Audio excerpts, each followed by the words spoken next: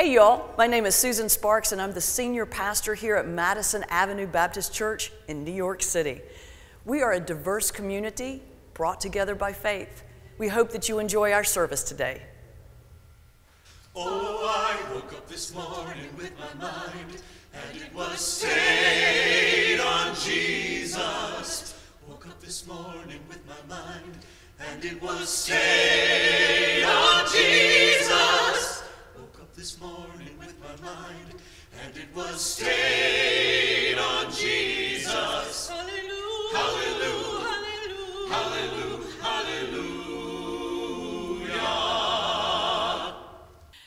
I- I'd like to start out this morning with a little confession, a little self disclosure. At the beginning of the year, I realized that I had been consuming way too many cheeseburgers with mayonnaise and accompanying festive beverages. so I decided I needed to scale it back and start taking a little better care of myself. As a part of this grand plan, I joined New York Sports Club right up the street.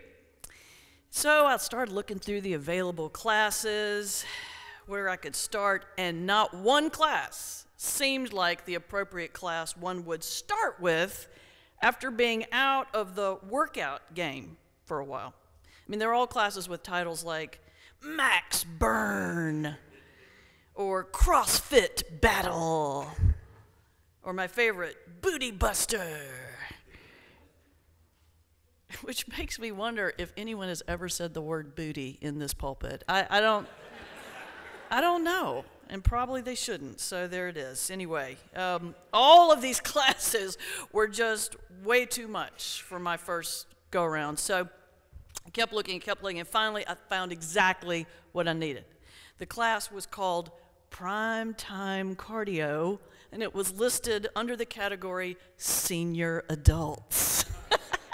But I was like, perfect. This is perfect because I can go to this class and be the most fit person in it, get myself a little, you know, gym confidence back, and then hit the booty blaster and be fine. All good. All good until I go to the gym, me and my smug self. And I showed up and I walk into the studio, into the primetime cardio studio, and I just sort of froze at the door and went, oh, no, no, no. Because there in front of me was an entire room packed full of what I was quite sure were retired Rockettes. Honey, I kid you not. These were super fit, lean, muscular, very tall women, all like 20 years older than me. And if that wasn't enough, in walks the teacher. In walks this woman, probably late 70s, I'm gonna guess, that had a body that was a cross between Angela Bassett in Black Panther, Shakira, J Lo, and Linda Hamilton in Terminator 1 and 2. That club is three blocks from our house, and I had to get an Uber home from that class. Okay? Toby knows this is true. He saw the bill. Coming in. I mean, that said, I've been going ever since. I love this class. I love it. I mean, my new retired Rockette friends are all the visual I need to be inspired to get healthy. I mean, they are the vision, right, of my end game, of what I'm working toward of the purpose I am working for. And every time I start to reach for a medium rare cheeseburger with a little mayo and a festive burger, I see that 70 year old Linda Hamilton looking at me. And then I drop and do 10 push ups on the floor at whatever restaurant I find myself in. you gotta have a visual. You gotta have a visual. So important in this life to have a clear vision of your end game, where you are going, what you are working toward, the purpose you are working for. It's like my friend Reverend Ken Sehested once said you must align your heart's delight with your hand's valor. Align your heart's delight with your hand's valor. I mean, there's tons of research and writing out there about the psychological power of visualization, how it's used by everybody from Bill Gates to Olympic athletes. Go read that. I'm not going to take time in the sermon to go into that, but read it. It's interesting stuff. The bottom line is you got to have a visual. You got to have a visual. And trust me, if you don't develop that visual, that vision for yourself, the world will do it for you. And then you're in trouble. Because for the rest of your life, you will be caught in confusion and doubt. You will be fighting an internal battle of what your heart tells you versus what this external, artificial world vision is telling you. Today is Transfiguration Sunday, as you heard from Heather's scripture reading. And, and I read that scripture as a similar story. It's a story about Jesus giving the disciples a visual, giving the disciples a vision of their end game, a vision of what they were working toward, a vision of the purpose they were working for. And Lord knows, just like us, they needed it. You know, all you have to do is go to the chapter before ours to see it. And by the way, that's not a bad thing to do when you're reading scripture. Just go to the chapter before and see what happened right before the story you're reading. Sometimes that can answer a lot of questions for you. For example, we read chapter 17 today. Let's go back to chapter 16. There, the disciples were caught in a total fog of confusion and doubt. It's, it's like I like to say, they were like a dog on wet linoleum. You know, honey, they were just all over the place. They were confused, they were unorganized, they weren't hearing anything that or understanding anything that Jesus was saying. In that chapter, Jesus has spent the whole day talking to the Pharisees and the Sadducees who were trying their level best to trick Jesus. He, he, they were exhausted, or Jesus had to be exhausted. So at the end of the day, they all get in the boat and they take off. And somewhere in there, the disciples realized they forgot to pack bread. Unrelated to this mistake, Jesus says to them, he's probably been thinking this over in his mind. He says, Listen up, guys, seriously. You need to be wary of the yeast of the Pharisees, meaning the influence of the Pharisees, right?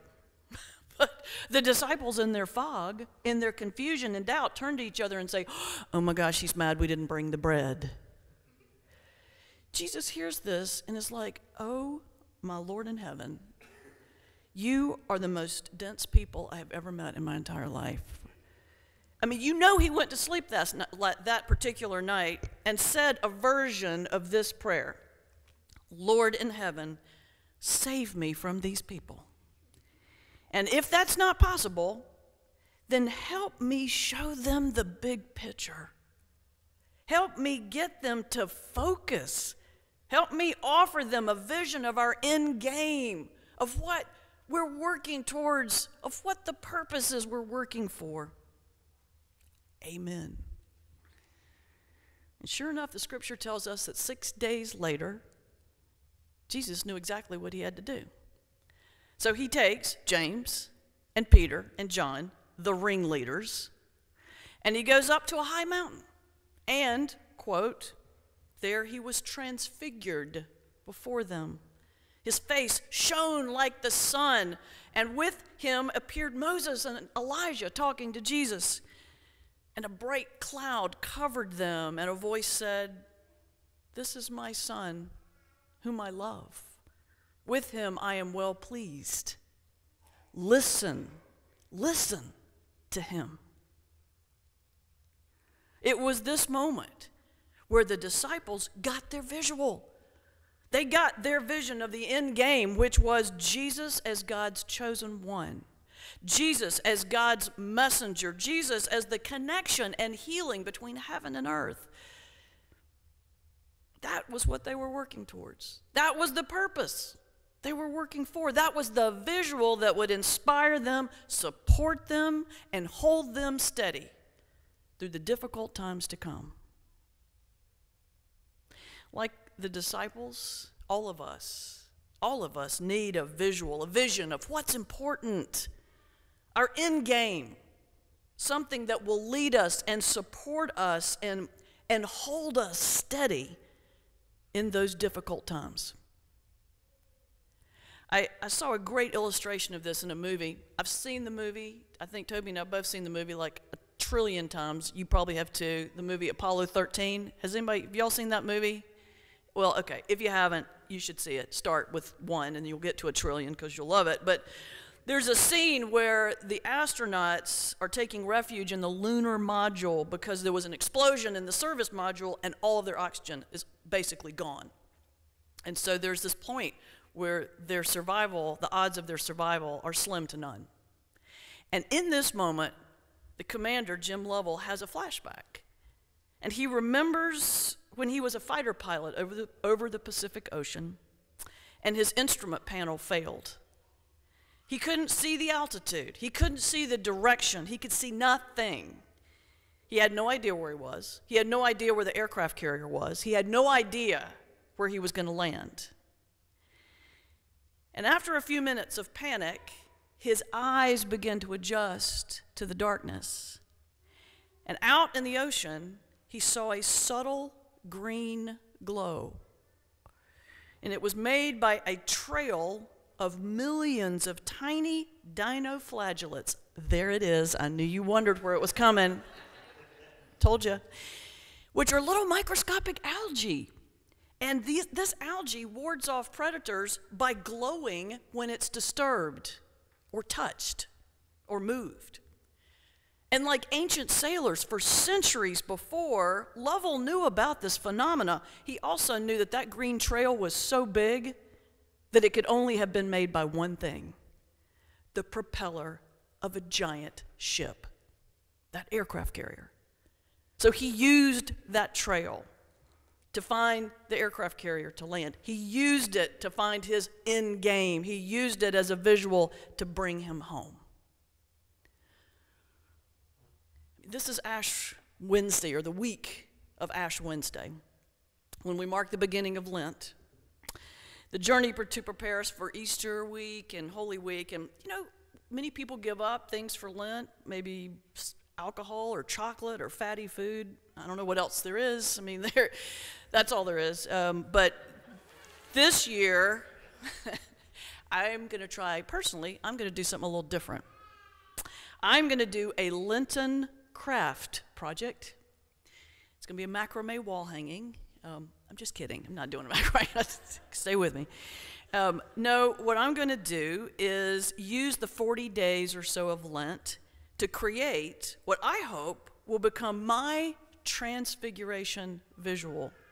The vision of what is important to me, to my end game, of where I'm headed. And I invite you to consider doing the same.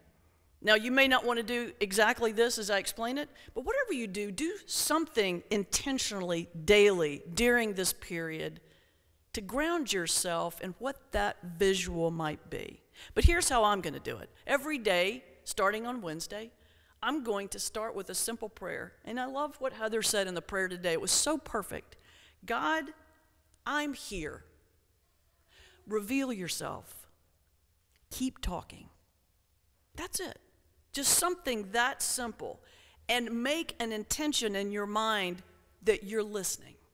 And then you go throughout your day and you wait for that vision to come because it will. Somewhere in your day, because you planted that intention, a vision, an image will come to you. And it could be anything. But that is going to be a visual that would make your heart happy, an image, a thing that puts your soul at peace.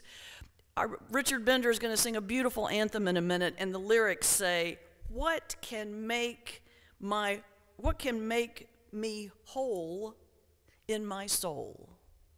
What can make me whole in my soul? Every day we will watch for whatever image that is. Maybe it's a song or a photo, or maybe it's a project you're working on at work that makes your heart jump. Maybe it's a client, a type of interaction that you're in the middle of that makes your heart happy, or maybe it's an article in the paper that pulls at your heartstrings. Whatever it is, find it and then record it. Now, Maybe you take a picture of it. Maybe you take a screenshot, or maybe you do it old school, you cut it out with scissors. but you keep a list or you post it on a Pinterest board or you post it on a piece of paper and you collect these every day through Advent. And why? Because by the time you get to Easter, you are going to have a powerful, powerful collection of visuals. Visuals of what it means to serve your risen Christ in your life. Not the world's vision, your vision. Your vision of serving a risen Christ. A vision that will lead you and support you and hold you steady through the difficult times. You got to have a visual. I mean, Lord knows in this world, this time, this place, where all we're fed is negative images and ideas and things that corrode our heart, we have to preempt the world's poison by creating our own visual of what could be, what should be, what will be. Hey, listen, if it works for transforming a sedentary pastor into Linda Hamilton, what more power will it have when we invite God into the planning? I want to leave you this morning with a prayer a prayer by my friend Reverend Ken Sehested that I mentioned earlier. And this prayer offers what I think are really powerful, inspirational words to get our hearts set to enter into this season of Lent. Let us pray. Hold fast to the one who made you. Stand with the beloved, and your footing shall be firm. Rest in the merciful one, and you shall be buoyed. Be clear about what you seek and where you seek, for the beatific life cannot be found in the land of illusion. But do not despair, for life is stirring in cracks and clefts and barren terrain Train your eyes to see through the tangle of disordered desire. Resist even to death that which bedevils the common good. Welcome and foster all that shields the battered, that restores harrowed fields and forests, that reclaims despoiled waters and all creatures great and small. In these lie your spiritual duty, the performance of your praise and the practice of your baptismal vows. By such does your heart's delight align with your hand's valor. Thereby you shall go out in peace and be led back in joy. The hills bursting in song, the trees in applause. And the people said,